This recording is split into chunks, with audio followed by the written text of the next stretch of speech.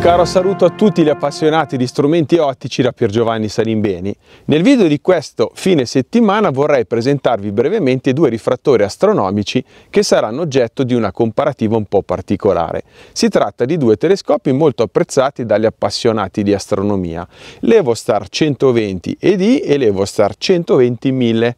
Entrambi sono prodotti da Skywatcher e distribuiti in Italia da Auriga.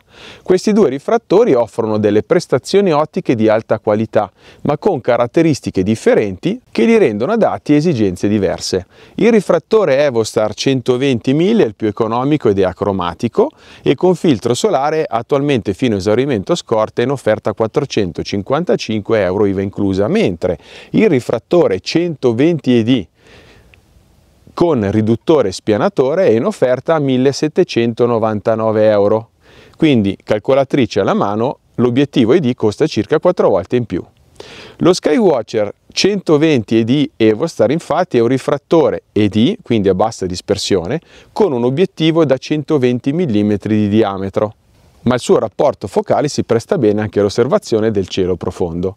Inoltre la qualità dell'ottica è stata potenziata rispetto al più economico cromatico con un miglior trattamento antiriflesso che riduce al minimo i riflessi indesiderati e migliora quindi sia la trasmissione della luce che il contrasto. Inoltre il telescopio, come potete vedere dai particolari, è equipaggiato con un focheggiatore Crawford a doppia velocità che permette di eseguire regolazioni precise senza effetti backlash, ossia di ritorno. Questo è fondamentale per ottenere una messa a fuoco precisa non solo nella fotografia, ma anche nell'osservazione ad alti ingrandimenti, magari se non avete voglia, come me, ad esempio come oggi, di utilizzare dei supporti astronomici molto robusti compatibilità inoltre con vari accessori Skywatcher di altre parti lo rende comunque versatile e facile da integrare in setup astronomici quindi di diverso tipo. L'altro modello che vedete qui è un rifrattore che definirei entry level, l'Evostar 120.000, infatti è un telescopio acromatico economico che ha una lunghezza focale di 1000 e un rapporto focale pari a f8,3. Sebbene non sia chiamiamolo un apocromatico come l'Evostar 120 ED, dovrebbe fornire comunque delle immagini di discreta qualità. Questo telescopio infatti, secondo me, è perfetto per chi cerca un buon compromesso tra le prestazioni e il prezzo ed una scelta eccellente per chi desidera esplorare il cielo con una buona risoluzione senza un investimento troppo elevato. A volte dico che per guardare i pianeti è meglio un 120 acromatico che un piccolo 80 mm di alta qualità. Insomma, pare un prodotto un po' spartano ma robusto con una lunghezza focale che strizza meglio l'occhio alle osservazioni lunari e planetarie. Ora vi starete chiedendo perché ho chiesto da Auriga questi due rifrattori. Perché oggi vi vorrei parlare della mia esperienza lunare e planetaria con questi due strumenti, ma vorrei anche mostrarvi delle prestazioni pratiche che otterrò collegando un oculare Kowa TE11 VZ con un adattatore sempre progettato da Kowa per un iPhone. Quindi in questo caso cercherò di evidenziare le differenze tra i due modelli nel mero uso diurno, quindi presumo che dovreste comunque riuscire a comprendere le differenze che poi verifichereste in parte anche nell'osservazione astronomica, anche se poi nell'osservazione ad esempio di pianeti come Giove interviene molto l'esperienza.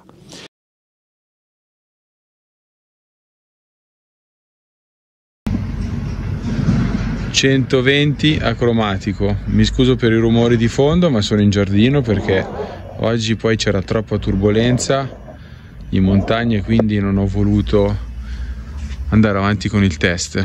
Qui l'ambiente è un po' più confortevole. Cercherò di riprendere gli stessi dettagli con entrambi gli strumenti. Questo è il particolare di un traliccio. Così siamo al massimo degli ingrandimenti dell'oculare e adesso provo anche a zoomare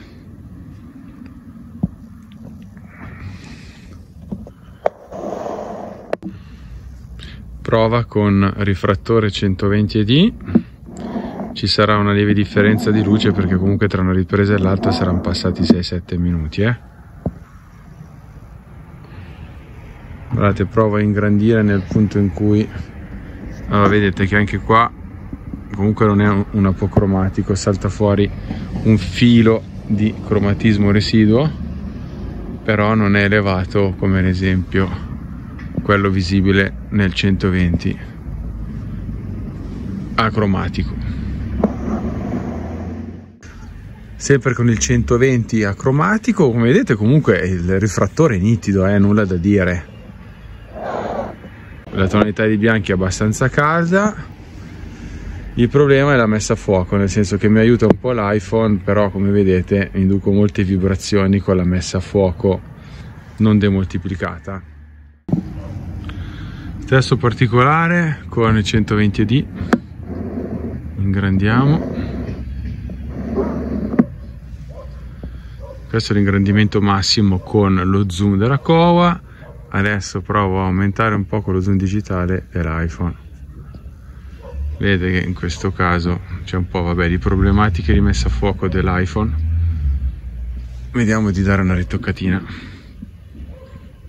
Ecco qua guardate immagine in questo caso priva totalmente di aberrazione cromatica. Questa è una situazione che in fotografia si definisce comunque a basso contrasto perché c'è una uniformità dei colori però non c'è un netto come il bianco con il nero e tendenzialmente c'è anche molta luce laterale che va a abbassare il contrasto quindi vediamo adesso aumentando gli ingrandimenti cosa succede e provo a zoomare con lo zoom digitale calcolate che questi abeti rossi sono a circa 3 km dalla mia postazione. Eh. Spero di aver ripreso la stessa scena, se così non fosse scusatemi, stessa zona circa 3 km di distanza. Adesso questo è il massimo ingrandimento fornito dall'oculare zoom, adesso proviamo a ingrandire con lo zoom digitale. Vedete che comunque nelle situazioni diciamo di stress dell'ottica il doppietto di risulta vincente. 120 acromatico stesso dettaglio. Aumentiamo l'ingrandimento dell'oculare zoom Kowa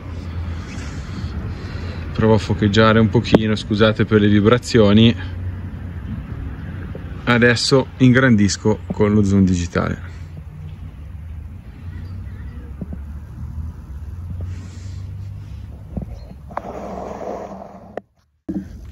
ripresa con 120 ed penso che il vicino di casa mi chiederà i diritti di immagine adesso ingrandiamo con lo zoom.